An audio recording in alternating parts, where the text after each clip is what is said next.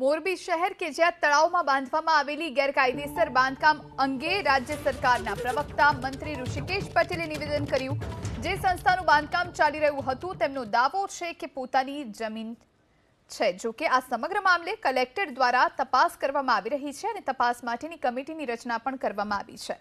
તપાસના અંતે યોગ્ય કાર્યવાહી કરવામાં આવશે. સરકાર દ્વારા બાંહેધરી અપાઈ.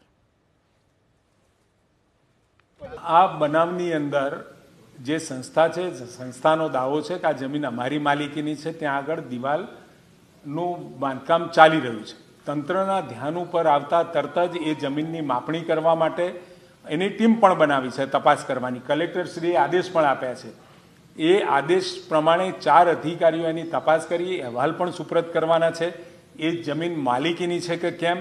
અને માલિકીની હોય તો પણ જો પાણીનો અવરોહ જે પાણીનો પ્રવાહ છે, એ અવરોધાતો હોય, તો એ પણ, એ બાબતે પણ પગલાં લેવા માટે અથવા તો દિવાલ દૂર કરવા માટે પણ રાજ્ય સરકાર અને કલેક્ટરશ્રીએ સૂચનાઓ આપેલી છે.